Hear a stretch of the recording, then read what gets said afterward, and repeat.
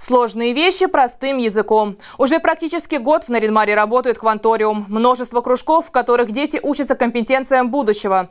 3 сентября детский технопарк решил открыть свои двери для тех, кто только думает начать первые шаги в сложных сферах. Подробности в следующем сюжете.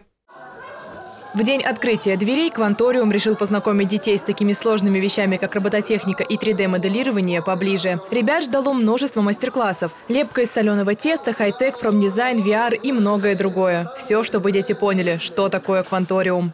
Для того, чтобы дети вообще познакомились, ну, хотя бы поняли, чем занимаются здесь в кванториуме. Потому что, когда ты смотришь название, допустим, 3D-моделирование, ты не понимаешь, о, о чем там, да?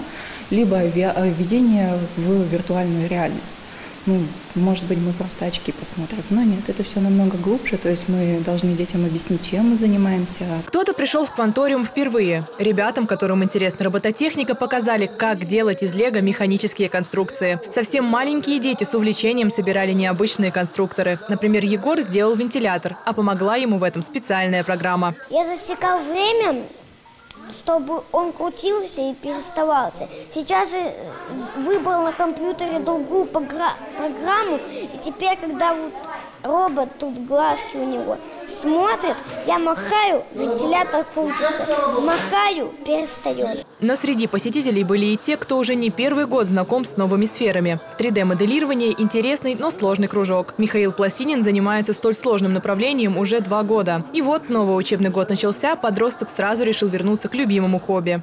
Я пока выбираю профессию, э, на которой я буду учиться и на которой я буду работать в будущем. Э, ну, например, вот архитектор. Думаю, э, знания в 3D-моделировании пригодятся. В кружки кванториума можно записаться через навигатор 83, в котором родитель также может следить за расписанием секции, а также была создана группа ВКонтакте. На кружки декоративно-прикладного творчества можно записаться с 4 лет, а вот заняться робототехникой могут дети школьного возраста. Елизавета Кабанова, Вадим Стасюк, телеканал «Север».